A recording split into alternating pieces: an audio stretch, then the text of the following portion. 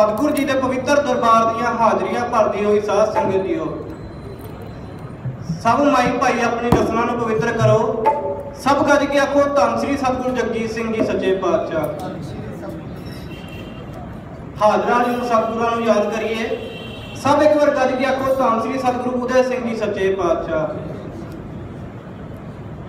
ਭਾਈ ਸਾਹਿਬ, ਭਾਈ ਗੁਰਦਾਸ ਜੀ, ਗੁਰਸਿੱਖੀ ਦੀਆਂ ਕੁਝ ਨਿਸ਼ਾਨੀਆਂ ਦੱਸੀਆਂ ਉਹਨਾਂ ਨੇ? ਅੱਜ ਅਸੀਂ ਇੱਥੇ ਗੁਰਬਾਣੀ ਕੀਰਤਨ ਸਰਵਣ ਕਰ ਰਹੇ ਹਾਂ, ਨਾਮ ਸਿਮਰਨ ਕੀਤਾ ਹੈ। ਆਪਣਾ ਜੀਵਨ ਸਫਲਾ ਕਰ ਰਹੇ ਹਾਂ। ਭਾਈ ਜੀ ਕਹਿੰਦੇ ਨੇ, ਕਹਿੰਦੇ ਗੁਰ ਗੁਰਸਿੱਖੀ ਦੀਆਂ ਕੀ ਨਿਸ਼ਾਨੀਆਂ ਨੇ? ਬਹੁਤ ਸਾਰੀਆਂ ਨਿਸ਼ਾਨੀਆਂ ਦੱਸੀਆਂ ਗੁਰਸਿੱਖੀ ਦੀਆਂ। ਉਹਨਾਂ ਵਿੱਚੋਂ ਇੱਕ ਗੁਰਸ- ਇੱਕ ਨਿਸ਼ਾਨੀ ਤੇ ਮੈਂ ਅੱਜ ਵਚਨ ਕਰਨੇ ਨੇ।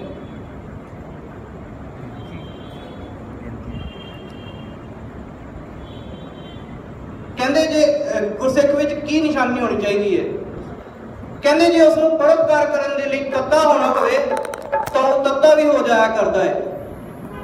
ਤੇ ਜੇ ਉਸ ਨੂੰ ਪਰਉਪਕਾਰ ਕਰਨ ਲਈ ਠੰਡਾ ਹੋਣਾ ਪਵੇ ਤਾਂ ਉਹ ਠੰਡਾ ਵੀ ਹੋ ਜਾਇਆ ਕਰਦਾ ਹੈ। ਇਹ ਨਿਸ਼ਾਨੀਆਂ ਨੇ ਪਰਉਪਕਾਰ ਕਰਨ ਲਈ। ਗੁਰੂ ਅਰਜਨ ਗੁਰੂ ਅਰਜਨ ਦੇ ਸੱਚੇ ਪਾਤਸ਼ਾਹ ਇੱਕ ਥਾਂ ਆਪਣੇ ਬਚਨ ਅਹ, ਬਚਨਾਂ ਵਿੱਚ ਕਿਹਾ ਜਿਸ ਨੂੰ ਭਾਈ ਸੰਤੋਖ ਸਿੰਘ ਹੋਰਾਂ ਨੇ ਸੂਰਜ ਪ੍ਰਕਾਸ਼ ਵਿੱਚ ਕੁਝ ਇਸ ਤਰ੍ਹਾਂ ਬਿਆਨ ਕੀਤਾ।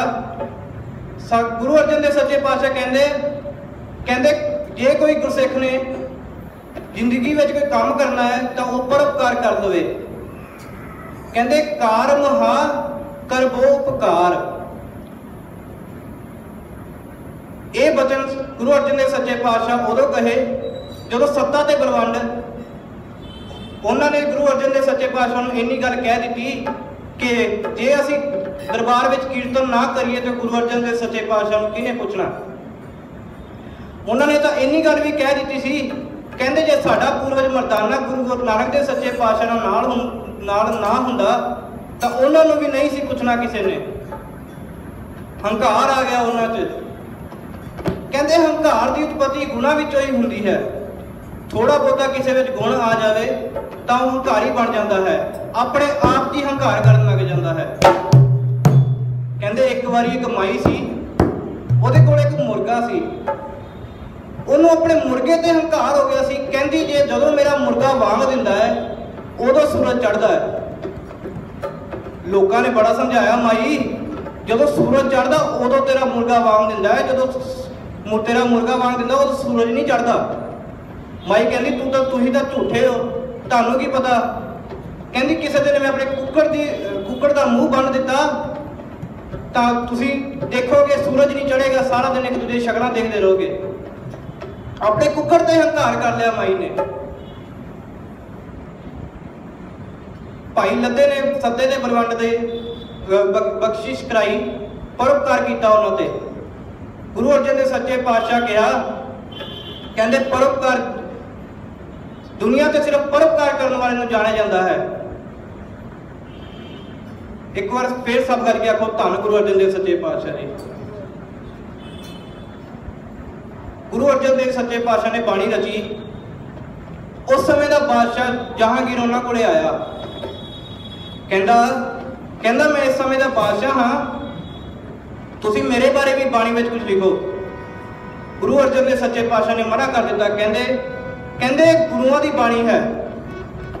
ਇਸ ਵਿੱਚ ਕਿਸੇ ਉੱਪਰੇ ਬੰਦੇ ਦਾ ਕੁਝ ਵੀ ਲਿਖਿਆ ਨਹੀਂ ਜਾ ਸਕਦਾ। ਜਹਾਂਗੀਰ ਨੂੰ ਬੜਾ ਗੁੱਸਾ ਚੜਿਆ। ਕਹਿੰਦਾ, ਹੁਣ ਮੈਂ ਤੁਹਾਨੂੰ ਸਜ਼ਾ ਦਵਾਂਗਾ। ਇੱਕ ਕਾਰਨ ਇਹ ਹੋ ਗਿਆ ਸਜ਼ਾ ਦਾ ਤੇ ਦੂਜਾ ਕਾਰਨ ਇਹ ਸੀ ਕਿ ਗੁਰੂ ਅਰਜਨ ਦੇਵ ਸੱਚੇ ਪਾਤਸ਼ਾਹ ਨੇ ਚੰਦੂ ਦੀ ਲੜਕੀ ਦਾ ਰਿਸ਼ਤਾ ਅਪਰਵਾਨ ਕਰ ਦਿੱਤਾ ਸੀ।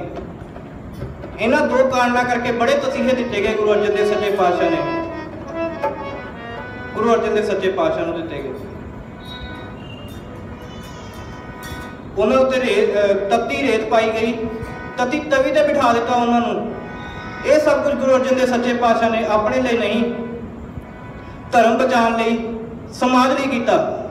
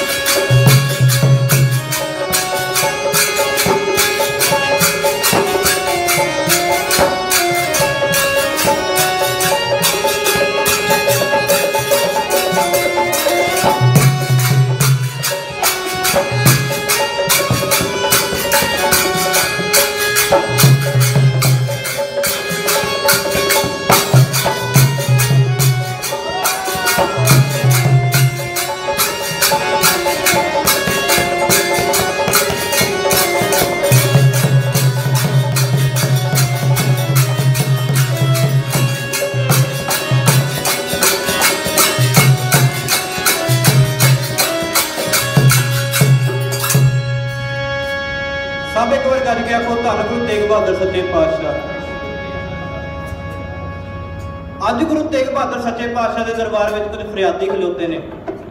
ਸਿਰ ਤੇ ਲੰਮੀਆਂ ਲੰਮੀਆਂ ਗੋਦੀਆਂ, ਭਰਵੇਂ ਰੰਗ ਦੇ ਕੱਪੜੇ ਪਾਏ ਹੋਏ ਨੇ। ਦੇਖ ਕੇ ਗੋਬਿੰਦ ਰਾਏ ਪੁੱਛਦੇ ਪਿਤਾ ਜੀ, ਇਹ ਕੌਣ ਨੇ? ਕੀ ਫਰਿਆਦ ਕਰਦੇ ਪਏ ਨੇ? ਗੁਰੂ ਤੇਗ ਬਹਾਦਰ ਸੱਚੇ ਪਾਤਸ਼ਾਹ ਕਿਹਾ, ਪੁੱਤਰ, ਇਹਨਾਂ ਦਾ ਧਰਮ ਖਤਰੇ ਵਿੱਚ ਹੈ, ਇਹਨਾਂ ਦੇ ਧਰਮ ਤੇ ਬਾਣੀ ਆਈ ਹੈ। ਇਹ ਮੰਗਦੇ ਪਏ ਨੇ ਕਿ ਸਾਡਾ ਧਰਮ ਬਚਾ ਲਓ। ਸਾਧ ਸੰਗਤ ਜੀ, ਆਪਾਂ ਰੋਜ਼ ਅਰਦਾਸ ਵਿੱਚ ਕਹਿੰਦੇ ਹਾਂ, ਸਤਿਗੁਰੂ ਰਾਮ ਸਿੰਘ ਨਾਮ ਚੜ੍ਹਦੀ ਕਲਾ, ਤੇਰੇ ਭਾਣੇ ਸਰਬੱਤ ਦਾ ਭਲਾ। ਅਸੀਂ ਰੋਜ਼ ਅਰਦਾਸ ਵਿੱਚ ਸਤਿਗੁਰ ਤੋਂ ਸਰਬੱਤ ਦਾ ਭਲਾ ਮੰਗਦੇ ਹਾਂ। ਤੇ ਉਹ ਤਾਂ ਸੀਗੇ ਸਤਿਗੁਰੂ। ਉਹਨਾਂ ਨੇ ਸਾਰਿਆਂ ਦਾ ਭਲਾ ਕਰਨਾ ਸੀ। ਗੁਰੂ ਤੇਗ ਬਹਾਦਰ ਸੱਚੇ ਪਾਤਸ਼ਾਹ ਉਹਨਾਂ ਕਸ਼ਮੀਰੀ ਪੰਡਤਾਂ ਲਈ ਦਿੱਲੀ ਦੇ ਚਾਂਦਨੀ ਚੌਕ ਵਿੱਚ ਜਾ ਕੇ ਆਪਣਾ ਸੀਸ ਦੇ ਦਿੱਤਾ। ਅੱਜ ਉਹਨਾਂ ਨੂੰ ਸਿੱਖ ਧਰਮ ਵਿੱਚ ਹੀ ਨਹੀਂ ਸਾਰੇ ਸਮਾਜ ਵਿੱਚ ਜਾਣਿਆ ਜਾਂਦਾ ਹੈ। ਆਓ ਇੱਕ ਵਾਰ ਪੜ੍ਹ ਲਈਏ। ਉਹ ਤਾਂ ਸਦਾ ਹੀ ਜਿਉਂਦਾ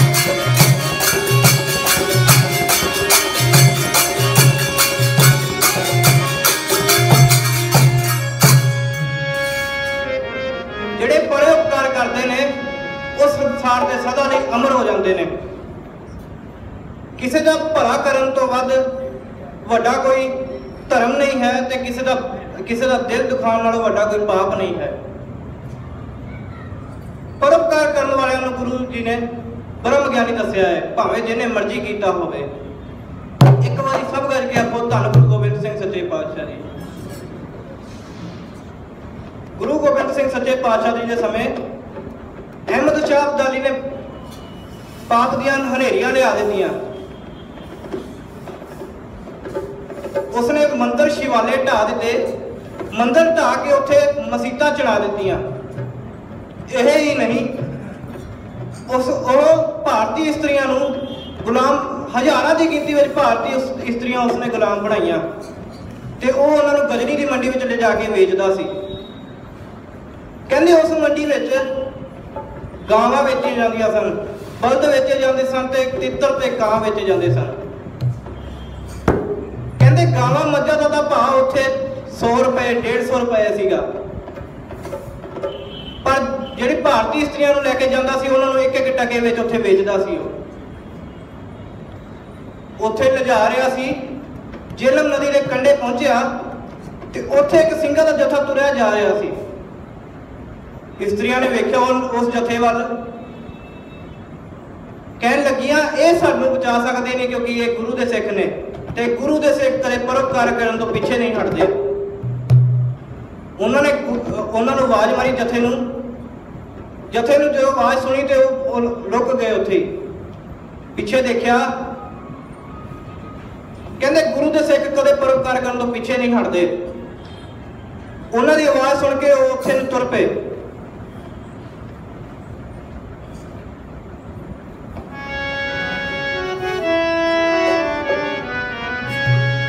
ਤੇਰੇ ਜਾਣੇ ਆਏ ਨੇ ਪਰ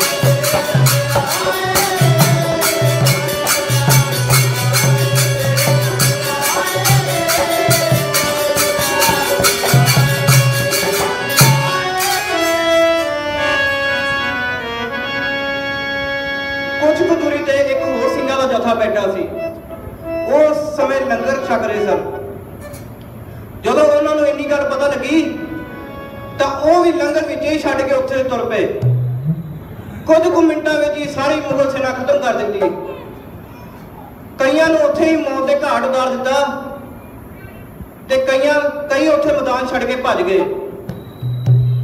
ਸਾਰੇ ਸਿੰਘ ਉਹਨਾਂ ਇਸਤਰੀਆਂ ਨੂੰ ਪੰਜਾਬ ਲੈ ਆਏ ਤੇ ਜਿੱਥੋਂ ਜਿੱਥੋਂ ਦੀਆਂ ਉਹ ਸਨ, ਉੱਥੇ ਉੱਥੇ ਉਹਨਾਂ ਨੂੰ ਵਾਪਸ ਛੱਡ ਆਏ। ਇਸ ਤਰ੍ਹਾਂ ਸਿੰਘਾਂ ਨੇ ਇੱਕ ਵਾਰੀ ਫੇਰ ਇਹ ਧਾਰਨ ਸਿੱਧ ਕਰ ਦਿੱਤੀ ਹੈ। ਤਪਦਾ ਪਰ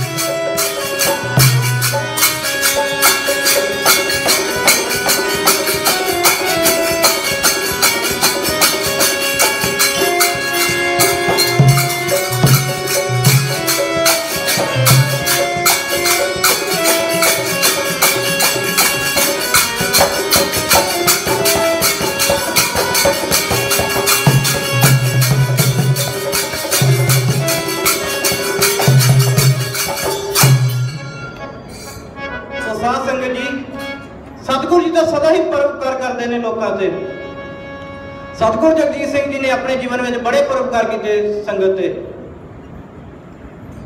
ਆਪਣੇ ਬਚਪਨ ਦੇ ਸਮੇਂ ਵਿੱਚ ਜਦੋਂ ਬੇਅੰਤ ਜੀ ਦੇ ਰੂਪ ਵਿੱਚ ਸਨ ਸੱਚੇ ਪਾਤਸ਼ਾਹ, ਇੱਕ ਵਾਰੀ ਰਾਮਸਰ ਸਰੋਵਰ ਦੇ ਕੰਢੇ ਤੇ ਖੇਡ ਰਹੇ ਸਨ ਗੇਂਦ ਨਾਲ। ਉੱਥੇ ਇੱਕ ਸਿੰਘ ਲੰਘਿਆ। ਉਹਨੇ ਸਤਿਗੁਰੂ ਪ੍ਰਤਾਪ ਸਿੰਘ ਜੀ ਕੋਲ ਜਾਣਾ ਸੀ। ਅਰਜ਼ ਕਰਨੀ ਸੀ ਕਿਉਂਕਿ ਕੁਝ ਸਮੇਂ ਵਿੱਚ ਉਸਦੇ ਪੁੱਤਰ ਨੂੰ ਫਾਂਸੀ ਹੋਣੀ ਸੀ। ਜਦੋਂ ਉੱਥੇ ਪਹੁੰਚਿਆ ਤੇ ਉਹਨੂੰ ਪਤਾ ਲੱਗਾ ਕਿ ਸਤਿਗੁਰ ਪ੍ਰਤਾਪ ਸਿੰਘ ਜੀ ਦੌਰੇ ਤੇ ਗਏ ਹੋਏ ਹਨ। ਬੜਾ ਦੁਖੀ ਹੋਇਆ। ਰਾਮਸਰ ਸਰੋਵਰ ਦੇ ਕੋਲੇ ਜਾ ਕੇ ਬੈਠ ਗਿਆ। ਸਤਿਗੁਰ ਜਗਜੀਤ ਸਿੰਘ ਉਸ ਵੱਲ ਵੇਖਿਆ ਤੇ ਆਪਣੀ ਗੇਂਦ ਉਸ ਵੱਲ ਸੁੱਟ ਦਿੱਤੀ। ਕਿਹਾ, ਸੰਤਾ, ਇਹ ਇਹ ਗੇਂਦ ਮੇਰੇ ਵੱਲ ਸੁੱਟ ਦੇ। ਤੇਰੇ, ਤੇਰਾ ਪੁੱਤ ਬਰੀ ਹੋ ਜਾਏਗਾ। ਸਾਧ ਸੰਗਤ ਜੀ ਇਨੀ ਕਹਿਣ ਦੀ ਦੇਰ ਸੀ। ਕੁਝ ਸਮੇਂ ਵਿੱਚ ਉਸ ਦਾ ਪੁੱਤ ਬਰੀ ਹੋ ਗਿਆ। ਉਸਨੇ ਆਸ-ਪਾਸ ਦੇ ਲੋਕਾਂ ਤੋਂ ਪੁੱਛਿਆ ਕਿ ਇਹ ਕੌਣ ਸਨ?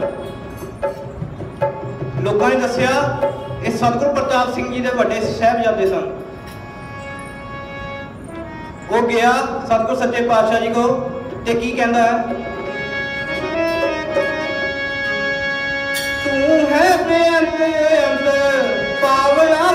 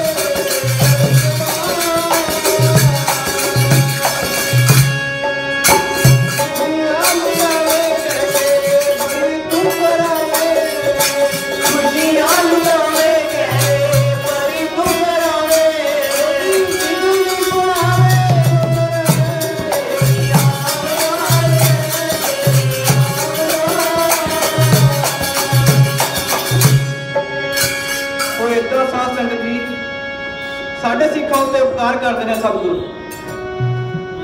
ਸਤਿਗੁਰ ਦੇ ਗੁਣ ਗਿਣੇ ਨਹੀਂ ਜਾ ਸਕਦੇ। ਆਓ ਇਹ ਆਖਰੀ ਧਾਰਨਾ ਪੜ੍ਹ ਕੇ ਮੈਂ ਕੀਮਤ ਦਾ ਜਦ